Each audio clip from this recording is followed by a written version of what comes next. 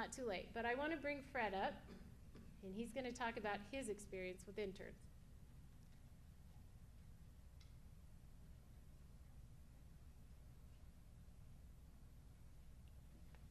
Oh, thank you, Joe. I've had five interns in the last 10 years of my business. Four of them worked out very, very well and have gone on to do incredibly well following their internships and in their employment. Um, I see the University of Wyoming internship program as being probably the best screening device I know of for employers. Um, in the 40 years I've been in business, I've had lousy luck with running ads, contacting employment agencies, or recently trying to get employees on the internet. Um, the interns have worked out the best for me by far. Um, the university should have three to two to four years to observe their students. And the one that John Benson sent me about a year ago, he had observed for a while, called me up and said, this is one of the brightest guys in our program. He wants to get in the financial services industry. Would you do an internship with him? And I agreed, and it's been a great experience and profitable uh, for both myself, my company, and certainly Reed Rudkin. Um, we can get high-quality job candidates through good collegiate internship programs. Smart young people that are willing to pay their dues, and I'll come back to what I mean by paying their dues in just a second. Um, it gives me a chance to see how they relate for about three months, because we do summer internships, how they relate with the other employees. And what's even more important is do the clients like, in my case, do my clients like them?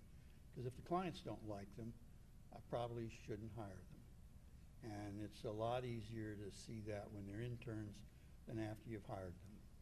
Okay? Um, the internship, three or four months that they work for us in the summertime, gives me an opportunity to see what their value really will be to my company before I hire them. Um, Now, I've never paid an intern. If they want to come do an internship with my company over the years, my feeling is they're getting a wealth of information. It takes a lot of my time to give them that information. When they show up that first Monday morning to do their internship, they're not worth 10 cents to our company. They don't know anything, they don't know what to do, and all they do is consume my time. But it's well worth that time if they're qualified, and assuming that we're, you know, it's going to come to a good end, or a good conclusion. So in addition to the investment I have, 'em- I have in them in imparting my time, we give them a lot of knowledge, and they're able to determine whether they're even in the right field of, do they really want a career in the money management business, which is what we do, and they get to see it really in action on a day-to-day basis. They get to see the exhilarating highlights of it. They get to see the, the worst thing that's going to happen when the client that's just lost some money calls up and wants to know why, how I could be that stupid to invest in that stock just before it declined. I mean, they really get to see what's going on. And it's, they're not going to see that otherwise. Okay? Now, the advantage to the intern is that this is their best chance to work with and learn about what really matters to become successful in a real-world situation. And if you get high-quality interns coming into your program and you provide them with a high-quality organization and good information and good education, you'll have good outcomes. And they will go on to do well because they get off to a good start. Uh, My expectations for the interns are very, very high. And I tell them that before we accept them as an intern. I tell them I am going to expect more from you than you've ever had expected before, but you're going to be more well rewarded if you measure up.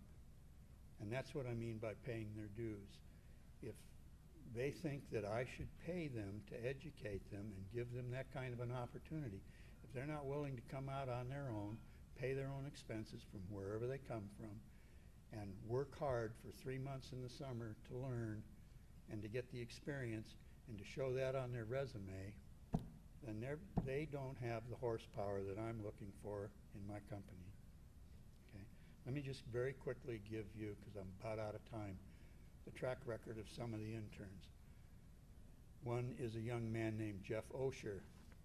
Uh, he did an internship with us in the summer of 1999. He came from the University of, O- of Miami at Ohio. His father was a client, asked if he could come out and do an internship. Um, he did that in the summer of 1999. He was he had job offers from Goldman Sachs and Montgomery Securities, and came to work for us because he saw our culture. He'd already done internships at Goldman Sachs and Montgomery. I never thought that he would choose us as opposed to Goldman Sachs.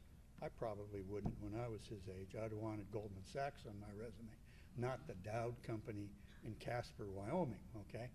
But he came, he worked for four years. He now runs the Harvest Small Cap Fund in San Francisco. I'll let you guys do the math. Well, while he was with me in those four years, I looked up his salaries today. He made six hundred and seventy-two thousand dollars in four years, uh, working with our clients, bringing in clients, and getting a share of the fees for providing good, good management. I got to tell you, the first week he was there, he came in. He said, "Fred, Fred, I got to show you my watch list." He said, "These are stocks you should buy." And I said, "Jeff, relax. You know, you're not even out of college yet." Well, three weeks later, he asked if I'd looked at his watch list. It was up about 60% since he first showed it to me. That got my attention. We started buying him. He is the smartest tech guy in the country, uh, and that all comes from him, not from me. But he runs almost 400 million today at this hedge fund. It was rated the number one fund in the country in 2009. It's a small cap fund. Uh, His compensation schedule on that fund is 1% of the money under management and 20% of the profits. He's never had a loss year, and he's averaged about 18%. The other intern I want to tell you about last is Reed Rudkin, who is the young man that the University of Wyoming sent me. Reed was born in Casper. He's the eldest of three children. His father graduated from the University of Wyoming with a master's degree in geology. Uh, he currently runs a construction company. That's Reed's dad. His mom is a pastor for the largest church in Casper, Highland Park Community Church. Reed has strong family ties to the Casper community, both through his immediate family and his extended family. He really comes from an outstanding family, and I think that's important. Okay. He graduated from high school with a 3.6 grade point average. He decided to attend the University of Wyoming. Uh, he attended on a full track and field scholarship. He was awarded the highest academic level of the Hathaway Scholarship. He will graduate this spring with a degree in finance and economics and come to work full-time for us. And when he does come to work for us full-time, he will have some ownership in the company. He will work harder as an owner than he will as an employee. I wouldn't give anybody ownership and part ownership in my company if they hadn't paid some dues and proved themselves. Reed proved himself last summer beyond shadow of a doubt. Okay? Uh, he's participated in a lot of many or many extracurricular activities. He was been in track and field as well as the manager of the track and field team. Uh, he's participated in the Fellowship of Christian Athletes and Campus Navigators and worked as a volunteer for the Salvation Army. Uh, he completed volunteer work in Mexico and South Africa. And I think that's important. If people make good money, they need to share it.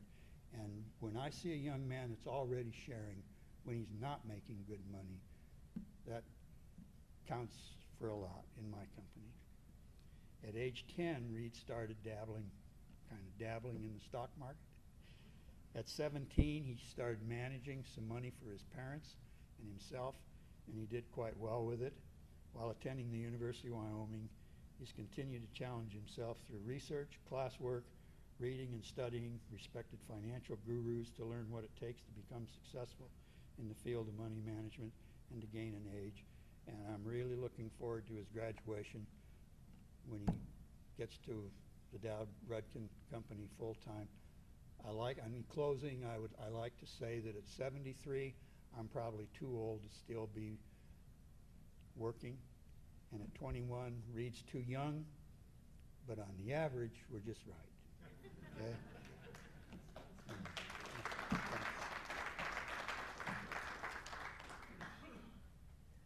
Well, thank you for your time, and if I can assist you in any way finding full-time employees or interns, um, my cards are on the table, and I'm happy to help.